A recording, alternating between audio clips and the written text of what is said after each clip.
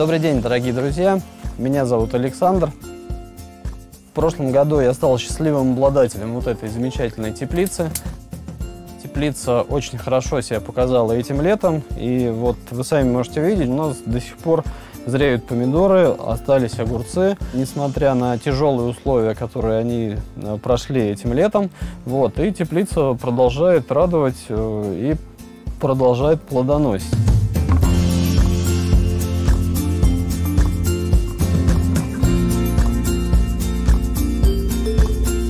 Мне очень понравилось выращивать овощи в теплице, но одной теплицы оказалось мало, и я решил завести вторую.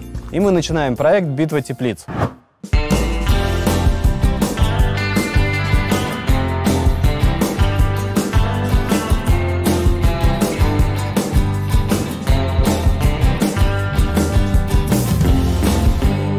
Константин Петрович, добрый день. Добрый день. Ну, как водится, в начале лета обещал зайти, уже Да, лет- да, лето да, да. давно Ну, лето уже закончилось. вот. Ну, уже, в принципе, глубокая осень, и тем интереснее, да, что у вас Ну. тут, в общем-то, это практически незаметно. Расскажите, что вы вообще здесь такое натворили, да? Ну, и- смотрите, пришло время, вот у меня старая теплица, вот она, остался только фундамент, и э, планировали вот поставить что-то такое, ну, необычное, назовем так. Достаточно много прочитал, а, слова такие необычные, но и все же вегетарий.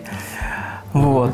Ну, вегетарий – это емкое Более слово, глобальное. более глубокое. Но часть, часть этого сооружения было принято вот э, сюда, применено. Мгм. Сначала заложили фундамент, уже осознанно предполагалось, что он будет вот таким, в таком виде, я имею в виду, вот 50 как минимум сантиметров. Грядки будут располагаться, смонтированы вентиляционные трубы, их назовем вентиляционные, хотя они канализационные, но не принципиальные. Работают они именно как вентиляция.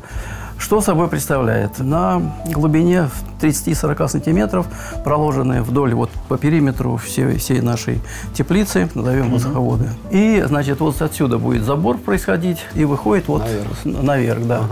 В двух случаях работает. Работает следующим образом. Значит, летняя жара, набор происходит отсюда. С земли проходят перфорированные трубы. Для чего? Потому что смена температурного режима и выделяется конденсат. Чтобы он там не заставил, чтобы он там работал, он оседает в грунт. Это первое. Второе. Значит, еще повторяюсь, что в двух направлениях работает вот эта система. Она работает в летний период, он забирает воздух и проходит через все трубы, тем самым остужая воздух. Сегодня сезон и поздний сезон уже мороз забирает самую высшую точку. У нас тепла, конечно, наверху. И мы забираем воздух, еще повторюсь, уже оттуда. с- греем землю. И греем совершенно через, проходит также по периметру и выходит уже сюда. А за счет чего происходит изменение направления воздуха? Нет, изменения, безусловно, происходят только механически, то бишь э, Вентилятор. вентиляция, да, вентиляторы, э, два вентилятора, которые включаются. Конечно, если дальше идти, а мыслить только, только так, конечно, развиваться более умной, умной автоматическом режиме, совершенно верно, чтобы она сама включалась. Пока это механически, я там включил, когда необходимо, в таком режиме, ручном назовем. Вот, а в идеале, конечно, хочется, чтобы и автоматически, э, кстати, вот стоит окно, оно автоматическое вообще-то включение, включение, Да, то есть, вот, да, и оно может. Пока еще я все в стадии становления немножко такого, еще пока э, отрабатываем, что, ну, что может быть, нюансы. правильно вначале в ручном режиме Ну, конечно, тестировать, да, а дальше понять уже автоматику совершенно верно, настраивать. насколько нужна, То есть как она нужна. Да, да, да, да. Поэтому, э, ну, интересная сама идея а, и мысль интересная. Ну, вот то, что мы сегодня видим, конечно, это еще надо дорабатывать и дорабатывать. Безусловно. Очень хочу, чтобы мы в ноябре кушали огурцы в спокойном режиме. Ну, я уж не говорю про помидоры. Все-таки более такие ранимые это огурцы. Вот. Конечно, хочу говорить и о дынях, и об арбузах. У нас соседи вот через дом в том году, правда, не в этом, в том году кушали, угощали, вернее, меня дынью. Вот, и поэтому, конечно, хочу чуть больше, чуть э, что-то такое. Ну, пофантазировать, почему нет, это же тоже Конечно. хорошо. Хочешь что-то такого экзотического. Да. А трубы диаметр э, такой же, вот как Диаметр как 110, выходит? да, тут Ага. все, все стандартно. Из чего грядка состоит? Грядка И- состоит, конечно, хорошая, очень обработанная древесина. Вот внутри, где-то соприкасается, ее даже здесь видно, гидростеклоизолом, все проработано, все, весь, все, чтобы не было соприкосновений земли и с голым э, деревом, назовем так. Вот. Ну и, конечно, покрыто все, чтобы было. Вот сколько поливали, сколько чего, вот оно, оно практически никаких изменений не, не придает. Это тоже очень важно, А чтобы каков, защитить. э, со- состав грунта? То есть здесь все грунт? Конечно, или- источник тепла – это, безусловно, грядки. Это грядки, это наша им земля родная, но в том же, в том числе, конечно, здесь слои следующие. Сначала я насыпал то, что у меня было, и листья, и солома, и, ну, все, что, вот, все, что такое. вот. Затем ветки, прям ветки, вот э, столько много было сборов. Вот. Затем слой достаточно приличный, сантиметров 10-15. У меня была, извиняюсь за мой французский, конский навоз.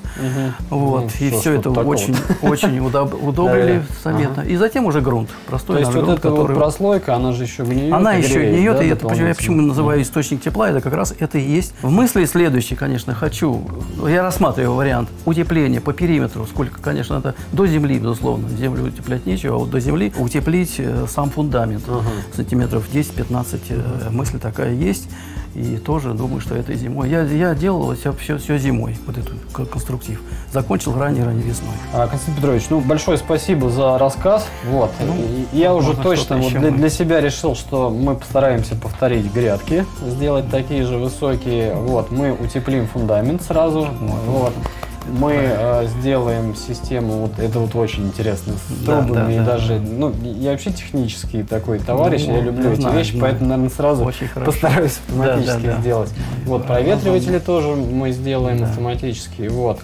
А каркас все-таки сделаем. э, у нас есть одна задумка по каркасу. А, Константин Петрович, ну раз уж речь зашла про полив, Да, вот, да, мы да, пришли да, не да. с пустыми руками. Вот, э, пришли с подарком. Вот, это система Чего себе, автоматического чего полива. себе, какая прелесть. Вот. э, Ё-моё. Она э, уже с контроллером идет, то есть, в Да, я принципе, вы можете подключиться Читал, прямо уже к емкости, она очень Ну, удачно супер. у вас тут стоит. Вот. И разводить э, полив на все грядки через контроллер. Можете добавлять, можете добавлять Ну, элементы. понятно. Здесь понятно, что базовый набор. Вот, Ну, но похвально. Вот его, его хватает на достаточно Я, большое извините, буду количество. почаще вас приглашать, пожалуйста. Вот, ну, Урожаем буду делиться и прочее. Чтобы еще почаще приглашали. Вот. А, а- опять же, от нашего партнера компании Бинам, это комплексное удобрение. удобрение? Я, да, сам ими пользовался. Очень эффективная штука, простая Ну. очень в использовании. Вот.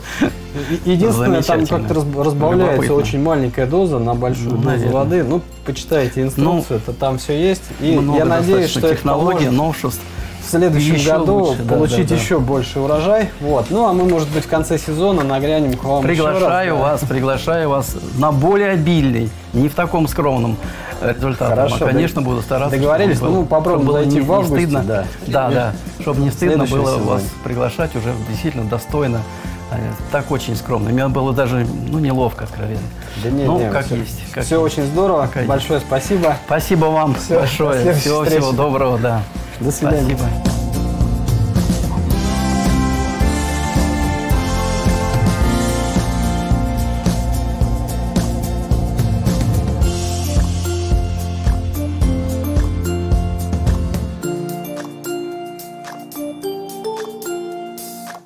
Итак, мы вернулись от соседа с огромным багажом знаний э, по строительству хитрой и умной теплицы.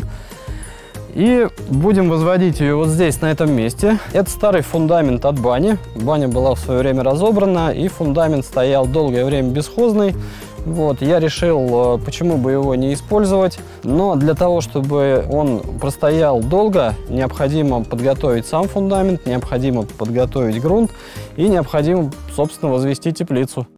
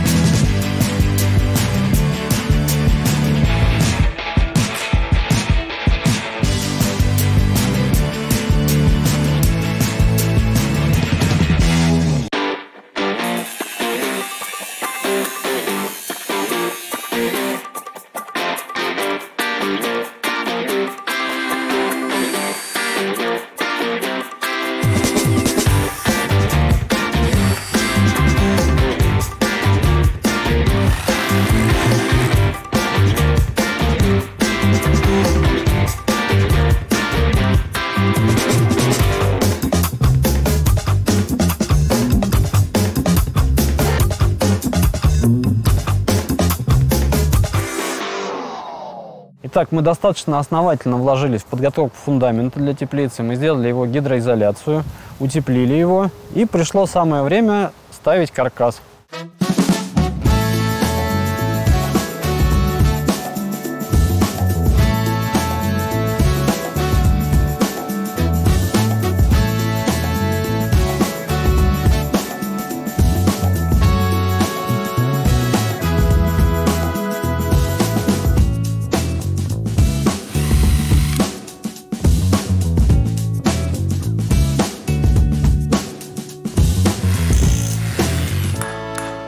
О всех нюансах каркаса для теплицы и его установки я пригласил рассказать Дмитрия, специалиста компании «Спектр». Дмитрий, добрый день. Добрый день. Ну, давайте, наверное, традиционно начнем с материала, из которого изготовлен каркас. Что это такое?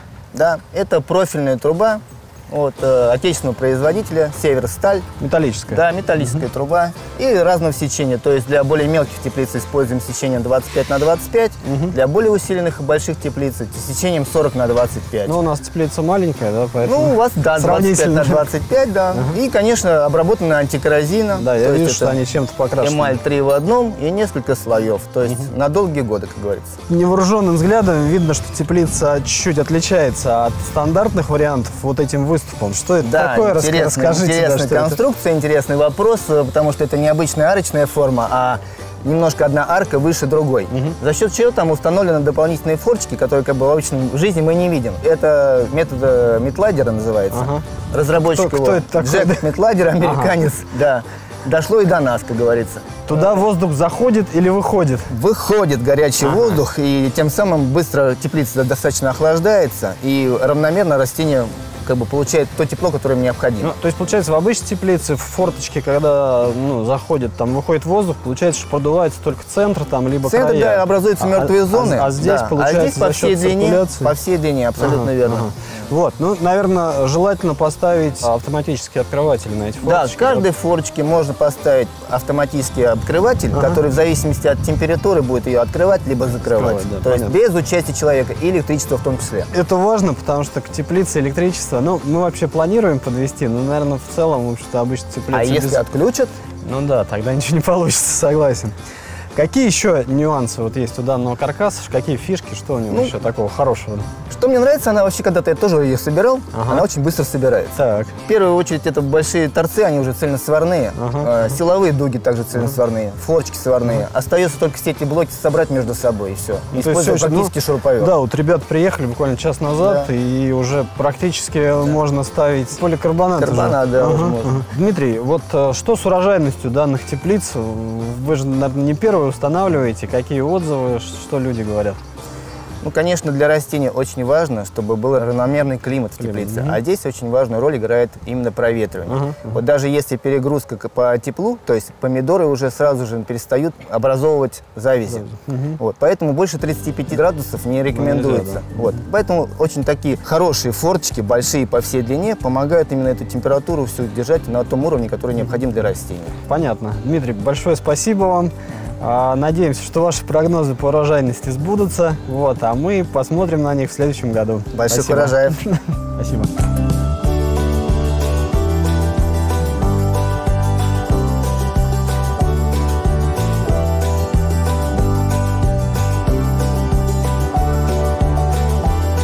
Итак, каркас готов, он крепкий, он стоит на месте, и теперь дело за поликарбонатом.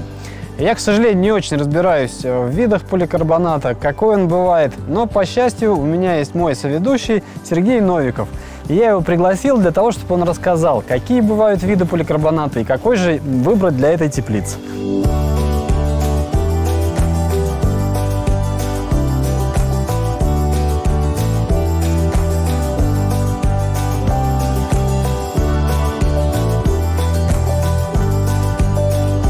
Сережа, здравствуй. Добрый день. Уже вечер, солнце Да. садится. Ну, смотри, еще не успел отгреметь э, сезон этого года урожайный, а я решил уже, так сказать, э, не ждать и поставить еще одну теплицу. Вот Вот, именно и- про это и говорят. Лиха беда начала. Да, одна была. Ты меня предупреждал, да, а я не слушал, что вот начнешь, да, и оно не закончится. Но, тем не менее, вот решение поставить вторую теплицу принято. Более того, каркас уже установлен. Окаркасился. Вот, да. И, собственно, возник вопрос у меня, а какой же поликарбонат выбрать? Вот. И это, наверное, тот редкий случай, когда я обращаюсь к тебе за технической консультацией. Прямо по адресу. Да, и прям по адресу. Расскажи, пожалуйста, Вот ты знаешь, да, я- что, у нас с поликарбонатом? Поликарбонатом. Во-первых, вот такой небольшой вводный курс для тех, кто не знает, что это за материал. Ага. Поликарбонат – это органический материал, Так. Это полимер, состоящий, как ты знаешь, из мономеров, из маленьких молекул, состоящих в цепочке. Вот. Так. И для того, чтобы этот материал служил долго, Да. он должен быть меньше подвержен влиянию солнечного света. Любой солнечный свет выбивает, убивает э, вот Все эту его- структуру, его свойства. структуру, да, и он крошится, становится э, непрозрачным, и при этом он теряет полную э, как бы светопроницаемость, и для растений он несет только вред. Так вот, столкнувшись впервые с этим материалом у себя на даче, три года стоит у меня теплица, покрытая именно поликарбонатом Актуаль Био от компании Софтпласт. И ты знаешь, я не прогадал. Три года она такая же прозрачная, она такая же светопроницаемая для растений, и урожайность там не падает. А вот в чем Прекрасно. секрет. Ты знаешь, Да. почему этот материал у меня, например, на участке служит долго? Дело в том, что он прозрачный, на самом деле он покрыт двумя очень важными для меня слоями. Первый – это ультрафиолетовый слой. Слой, который блокирует ультрафиолетовые лучи, которые не разрушают полимерную структуру этого материала. Он остается прозрачным в течение многих лет, он остается таким же светопроницаемым. И самое главное, что мне нравится, а, у этого поликарбоната, посмотри, крупные ячейки. Вот именно от них зависит теплоудерживающие свойства всей теплицы. Чем крупнее ячейка, Ячейка, тем больше понятно, тем воздуха, больше воздуха, тем тем- более Тем теплоудерживающие свойства термос. теплицы. Но тут есть еще и биослой. Что Так. такое биослой? Это вообще ноу-хау. У поликарбоната Актуаль Био, здесь мы его не увидим, это практически незаметный глазу слой, который преобразует вредный для растений ультрафиолетовое излучение, смещает его спектр в полезное для урожая и для урожайности растений спектр света. Это прекрасное достижение, которым я рекомендую воспользоваться всем и каждому.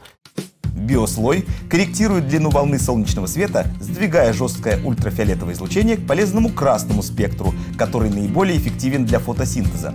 В результате в теплице улучшается микроклимат, созревание идет активней и урожайность повышается. Испытания на базе НИИ сельского хозяйства показали, что под актуаль био можно вырастить до двух с половиной раз урожая больше по сравнению с теплицей, покрытой обычным поликарбонатом без биослоя. Сереж, смотри, у меня есть идея э, начать выращивать овощи как можно раньше. Вот что этот поликарбонат, он как вообще для зимы, и когда он начнет работать, когда, когда я смогу это делать? мы можем абсолютно не бояться, что в течение зимы с этим поликарбонатом что-то произойдет. Изломы, изгибы, стирание слоев, о которых я как раз говорил, да. А еще мы не традиционный 4-миллиметровый будем Да. класть, а 6-миллиметровый. То есть он толще. Он толще, он прочнее и он на 10% теплее. Посмотри, ощути и почувствуй разницу. Ну, на ощупь точно приятный, осталось проверить его в деле. При монтаже поликарбонат нужно размещать цветной пленкой вверх, так как с этой стороны нанесен УФ-защитный слой. Соты должны располагаться вертикально для обеспечения стока конденсата. Защитить торцы листа от загрязнения рекомендуется торцевым профилем. Чтобы конденсат свободно стекал, в профиле просверливается отверстие через каждые 15-20 сантиметров. При крепеже листа к каркасу нужно учитывать термическое расширение поликарбоната.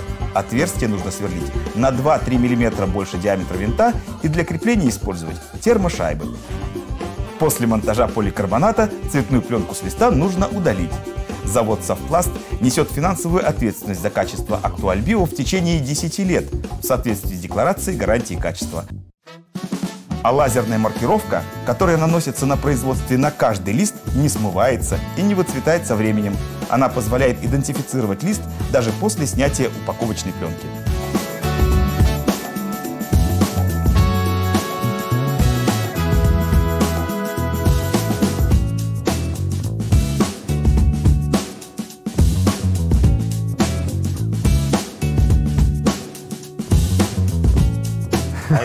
Что?